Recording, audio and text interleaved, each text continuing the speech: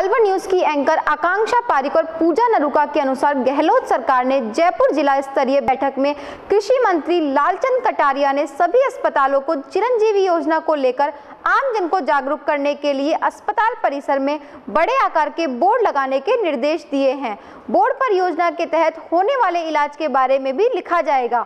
बैठक में कृषि मंत्री लालचंद कटारिया ने समीक्षा बैठक में निर्देश दिए कि चिरंजीवी योजना में शामिल सभी अस्पतालों पर बड़े आकार का बोर्ड लगाकर अस्पताल में इसके अंतर्गत होने वाले इलाज की जानकारी दी जाएगी।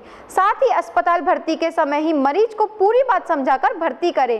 यदि वे किसी कारण योजना का लाभ देने में सक्षम नहीं है तो उसे सही अस्पताल में रेफर करें। उन्होंने मुख्य चिकित्सा अधिकारी एवं जिला प्रशासन को इसे सुनिश्चित करने के लिए निर्देशित किया। परिवहन मंत्री प्रताप सिंह खाचरियावास ने बताया कि कोरोना की दूसरी लहर के दौरान वे स्वयं 28 बार विभिन्न निजी और राजकीय अस्पतालों और आईसीयू में कोरोना मरीजों के बीच गए।